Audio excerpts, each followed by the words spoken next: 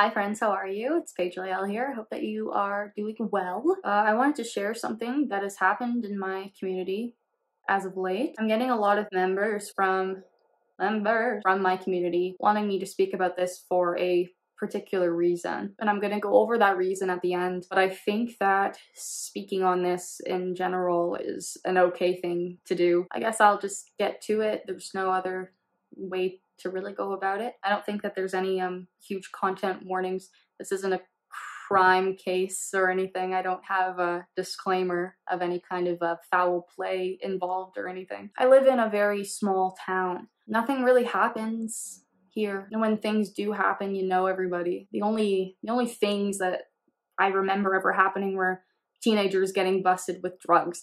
there aren't huge things, but this one really hits close to home. Haha. On Sunday, June 12th at around 3.30 p.m., little 11-year-old Draven Graham wandered away from his home. From the information that I've gathered, it seems that Draven primarily lives with his mother in a city about 15 minutes away from here and was here visiting his father as he usually did on weekends. They lived just one street down from me. And at that day, at that time, I was here in my house one street away. It is said that he left the house on his own accord with no shoes on and holding a white Samsung tablet. It was also advertised that Draven Graham was autistic. Everyone was quite nervous for any multitude of reasons, as one would be. One major reason as to why this was so terrifying is because behind that street is a river, and the river goes all the way along, real close to us still, that way, which then goes into a big lake. Autistic children are much more likely to run away than allistic children, and also much more likely, like I think it's like 46% or something, more likely to die by drowning than autistic children. I wasn't aware of this news until around 7 p.m. that night. I was outside with my father and one of my friends when we saw a cop car going super, super slow by my house and looking at us. And I was curious about what that was when my friend told me that he and some of our other friends were sort of down the road. We're all going to uh, one of our friends' siblings' houses who also lives just down the road. They said that they uh, were apparently around, you know, the area where Draven was last seen. I'm not sure if it was them. I feel like they would have told me if they did see him. I don't want to ask because it's all a lot, but it is said that he was last seen on the street that my friends were on. When my friend told me why the cop was around, I asked, how'd you know? Did you get an Amber Alert? I didn't get an Amber, an Amber Alert. And he said, no, he didn't get an Amber Alert. It was because he was around the area, which I thought was weird in the fact that I didn't get an Amber Alert. It, it had been a few hours, I figured an Amber Alert would be issued. Anyway, most of the advertising for finding Draven to the community was on Facebook or on other social medias getting shared around. As the day became night and there was still no sign of Draven anywhere, the community was advised to stop searching outside of our own properties. The police were nervous that anyone would end up contaminating any kind of evidence. There were canine sniffer dogs trying to track his scent, which is also another reason why we were all told to stay inside. We wanted the dogs to have a go at the best possible go at finding Draven's scent. And so we were advised to look on our own properties and our own outbuildings and such to see if Draven had hidden anywhere. Apparently he had a tendency to hide. There were still a lot of members of the community that were searching at night and people were searching by the river, they were searching in drain pipes, they were climbing trees to see if he had climbed a tree. The community really got together to try to get this little boy home. And on to the next day, people were still trying to help out as much as they could. The OPP, which is the Ontario Provincial Police, were bringing in other task forces in to help look for Draven. They had boats patrolling the river and the lake. There was word out to counties all in the area. Overnight, they figured if he was walking continuously, he could be hours away. And so alerts were sent out all over. They had helicopters surveying the area. They began having divers in the lake and in the River. In the early hours of Monday, June 13th, Draven's clothes were found right beside the river. There was still no sign of Draven. Parents hypothesized that because it rained the night prior and he didn't like being wet, he likely took his wet clothes off. That would be more comfortable for him. I believe at that point people really expected the worst. A little boy has been away from home for 18 hours and now he is declothed and his clothes are next to a river 24 hours after his disappearance. On Monday, June 13th at around 3:30 p.m., 11-year-old Draven Graham's body was found in the river. At the time I'm filming this, that was yesterday, and they have not released much more information, except for the fact that they are not suspecting foul play. I'm not sure what all will be shared with us as Draven is a minor, but right now it's looking like the cause of death was drowning. My heart absolutely breaks for everyone that loved Draven. It's absolutely heartbreaking. It's horrible. It's it's absolutely horrible. It's horrible to hear. Every it's horrible. It's it's the the worst thing ever in the world. It's the worst. Now, I said something earlier about how members of my community had a stance. They, I'm not sure what the word is. Uh, a lot of people are very angry and upset that an Amber Alert was not issued. For those of you who don't know what an Amber Alert is, uh, I think it was in 1996, a nine year old girl named Amber was abducted from her home and then later found um, murdered. Now we have an Amber Alert, which alerts, I actually don't know who exactly it alerts. People with phones? Perhaps? It, it goes to everyone's phone? No, it wouldn't just go to phones because before Amber Alerts were sent to my phone, they were broadcasted on the TV. An Amber Alert is a, it's a, no, it's a notification that you can't ever opt out of or get rid of.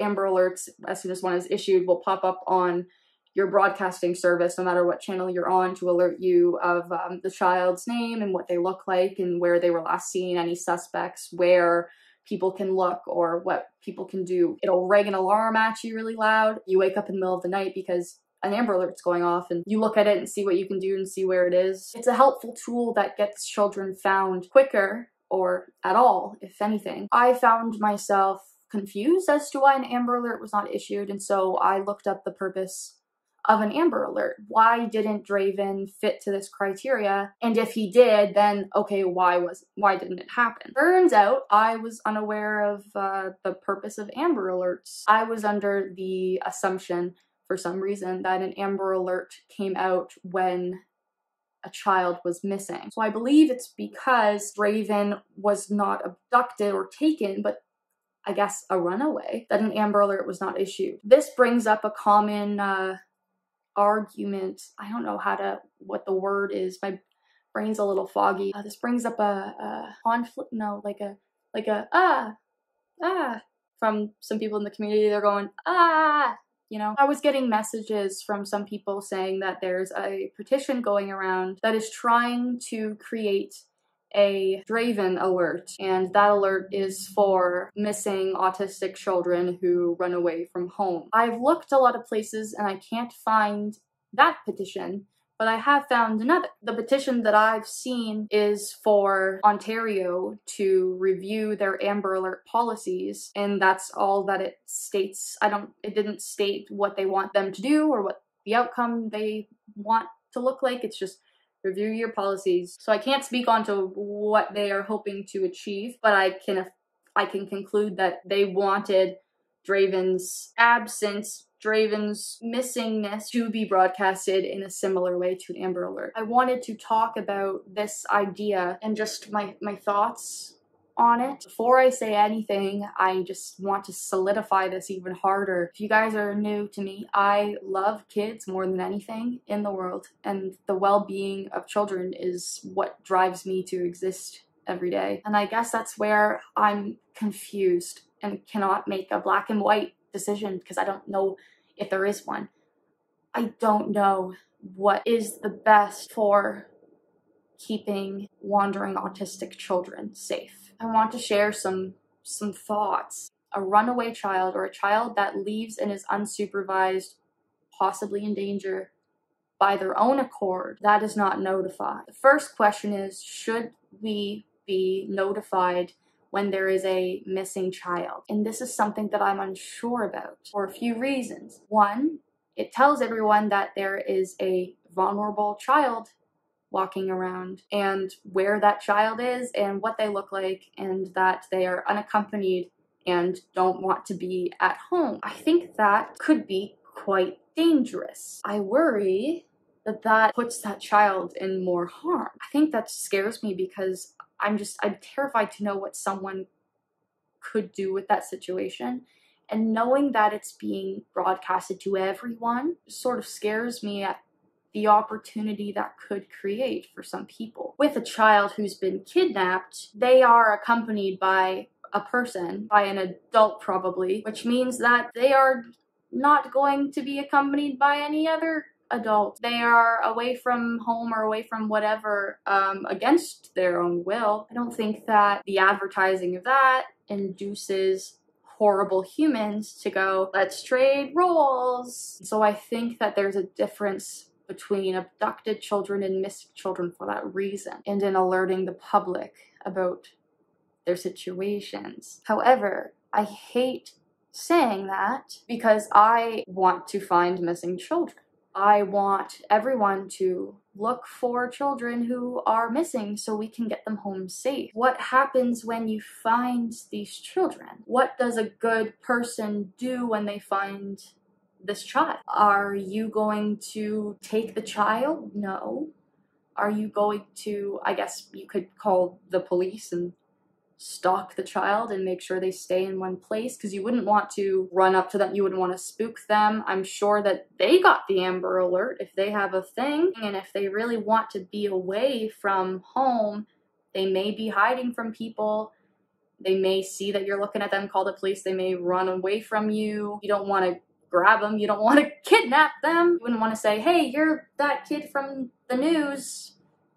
Come stand here stay here. I think that is difficult. My other point, I guess, that I want to talk about is I don't think that an alert specifically for autistic children or autistic children who've ran away or autistic children anything is perfectly okay and good and only positive. I don't know what saying they're autistic has to do with things, except that I'm sensing it increases the urgency. Uh, in my opinion, nothing should increase the urgency of finding a missing child who's potentially in danger. It doesn't matter anything at all. I want to find that child now. I want to find that child five minutes ago. And if, like, saying they're autistic makes people get off their ass, that bothers me. I also think that there are dangers that come from exposing that to everybody. As I was saying before, I think it's potentially dangerous to display the whereabouts of any alone child ready for the taking anywhere, let alone also display that child is very vulnerable. That's very scary. That's very scary. Now, you could say that by saying that the child is autistic, it could mean that the community can search more effectively considering what the community knows about autism. That begs the question what does the community know about autism? But it also begs the question how is knowing about autism going to help you find this one specific autistic child? To my first point, in the town of which I live, no one knows anything about autism.